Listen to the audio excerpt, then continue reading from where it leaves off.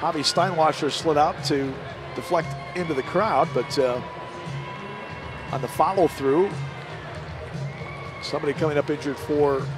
Utica. Tom, while we have a minute, there was a question on the Twitch chat